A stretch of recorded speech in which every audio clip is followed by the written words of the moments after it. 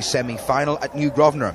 A misdirected back pass was headed down by Paul Hardy, and Davy Smith beat the Portadown goalkeeper Mickey Keenan. Five minutes later, it was one all. It was Davy Mills who made a tremendous surging run down the centre of the field, holding off several challengers. And while his cross was somewhat misdirected, Davy Hanna was there to finish it off.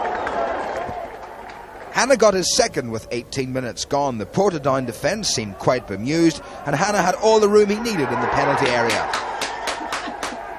Larne levelled it at 2 all when referee Alan Snoddy decided that Brian Strain had controlled the ball with his hand and Paul Hardy scored from the penalty spot.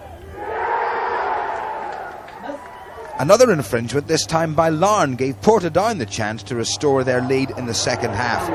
The Larne players protested most vigorously, but Alan Snoddy was not to be dissuaded, and a penalty it was.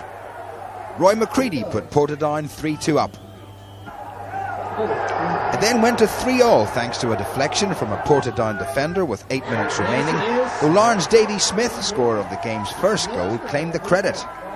Into extra time then, and Francis Smith was wide with a straightforward chance for Larne. And the same player was to be just inches out in the second period. But 11 minutes from time, Davy Hanna pushed the ball home for a Portadown winner and a place in Saturday's final, giving Portadown the opportunity for a first Irish League trophy since their Gold Cup win in 1979. Dear, dear, dear. I didn't expect that to come about.